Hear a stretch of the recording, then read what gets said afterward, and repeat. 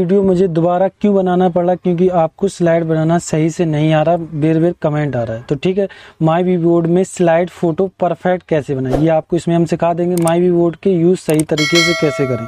इसीलिए मैंने लिख दिया, क्योंकि आप ध्यान से देखते नहीं, फिर आपको आता नहीं। और ये पार्ट नंबर आपका नौ है। इससे पहले मैंने और इससे परफेक्ट बताया किस तरीके से यूज़ करें, वो भी है। आप जाकर देख सकते हैं डिस्क्रिप्शन में लिंक दे रखी है। और अभी तक आपने इस चैनल को सब्सक्राइब और लाइक नहीं किया तो कर दें। आपको माई वी बोर्ड के आपको नौ दस वीडियो हैं, उससे क्या होगा, आप परफेक्ट माई व्यूट चलाना सीख सकते हैं। तो ठीक है, आप डिस्क्रिप्शन लिंक है, जाकर देख सकते हैं। उससे पहले आप चैनल को सब्सक्राइब कर लें। अब चलिए हम आपको सिखाते हैं किस तरीके से ये काम करता है। मतलब फ़ोटो स्लाइड कैसे बनाना? देखिए सबसे पहले आपको इसमें जाना है ठीक है? पेन वो और निकालने नहीं तो फिर कहो, कहोगे कि ये बेर बेर कर रहा है ठीक है? देखिए अब देखिए क्या है कि सबसे पहले आपको ये फुल मोड से कम करना है ठीक है? ये ये इस पे दाब के आपको इसे कम ये फुल में ऐसे बंद इस तरीके से कर लो। फिर उसके बाद आपको पेज ये दिख रहा है इससे पेज निकलेंगे। तो इसको आप पेज बना लें देखिए यहाँ आपके पेज दिखेंगे। ये इधर आपको दिख नहीं रहे ना? इधर देखिए अभी हम आपको दिखाते हैं। इस जगह। ये देखो, दिख रहे पेज? इधर जैसे हम पेज पे दाबेंगे, इधर बढ़ते छः सात, आठ, नौ, दस, जितने पेज हमने दस पेज बना लिए। अब इसको फुल मोड में लगा दिए, ठीक है?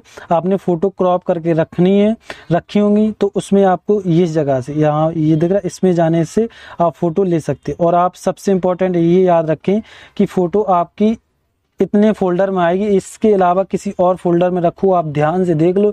इतने फोल्डर के अलावा किसी और फोल्डर में रखोगे, आपकी फ़ोटो नहीं आएँगी।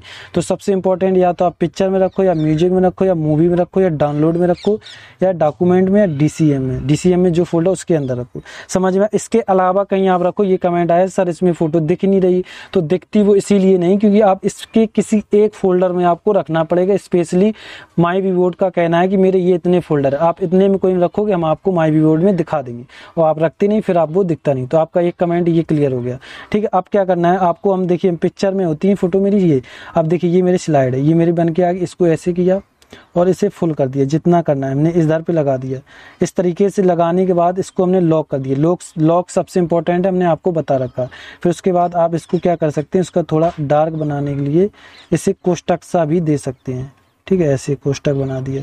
ठीक है, ये एक आपका क्वेश्चन नंबर पहला हो गया, इस तरीके से आगे बढ़ा। ये देखिए लास्ट में आ गया तो ये देखिए यह आपसे गलती होगी, लेकिन ये इसके दाबने से ऐसे ऊपर उठा दोगे तो ये सबसे ऊपर पहले नंबर पे आ जाएगा। आ गया पहले नंबर पे, अब दूसरे नंबर फिर उसी फोल्डर में जाना, और ये देखिए, मेरा एक लग चुका दूसरा नंबर ये आ गया, ये ऐसे किया, कर लिया, उसके बाद यहाँ लगा दिया, ठीक, इसको लॉक कर दिया। उसके बाद ये थोड़ा डार्क बॉक्स ले लिया। बॉक्स में इसको थोड़ा कम कर दो। तो इस तरीके से आप बंद कर सकते हो, ऐसे कर दिया।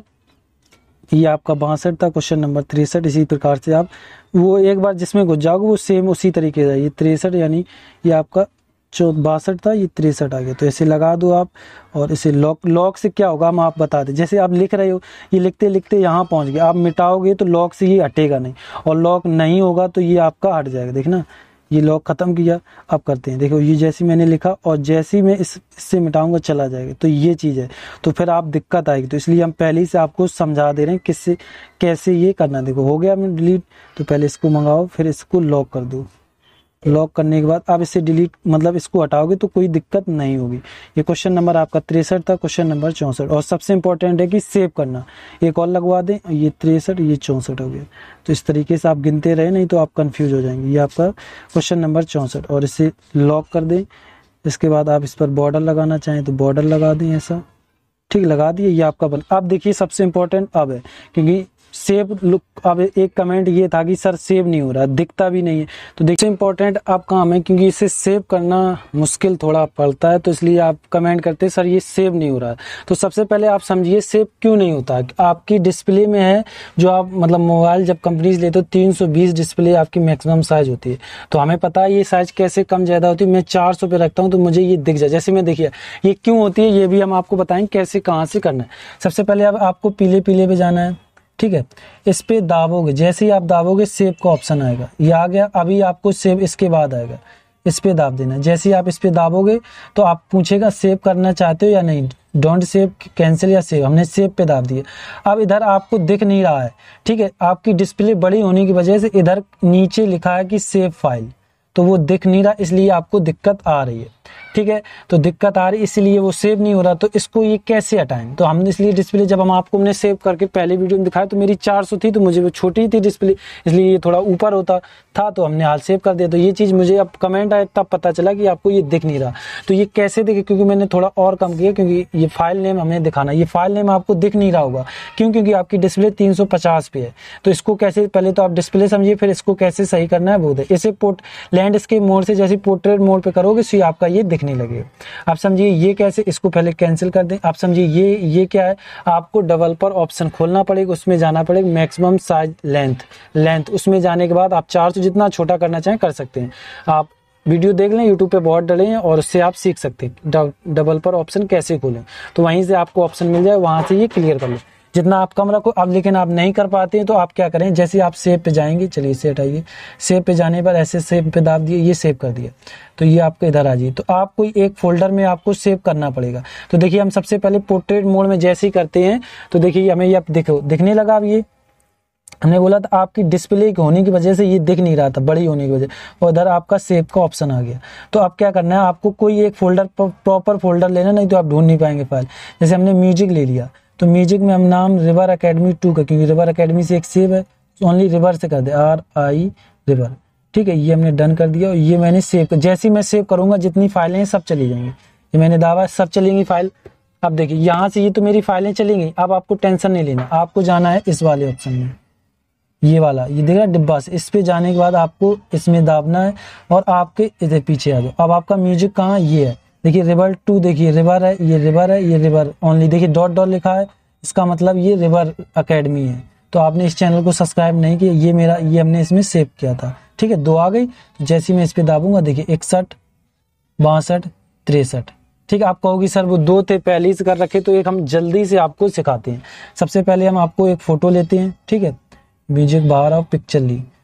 दो चार जितनी फ़ोटो लेनी चाहो, ऐसे ले ली। ये बन गई। अब हमें इसी को सेव करना है। थोड़ा आपको बड़ा कर दें, क्योंकि फिर एक बार इससे क्या होगा? आपको अच्छे समय। ये हो गया। अब हमें इसे सेव करना है तो आपको पीला पीला देख रहा फ़ाइल पे दाबना पड़ेगा, फिर ये लास्ट में इसको दाबना पड़ेगा। जैसे दाबोगे सेव का ऑप्शन अब आपको नीचे का दिख नहीं रहा है तो ये दिख नहीं रहा तो इसके लिए आपको क्या करना पड़ेगा इसे पोर्ट्रेट मोड में जैसे करोगे, आपको फ़ाइल दिखने लगेगी। ठीक है? ये आपकी फ़ाइल दिख गई।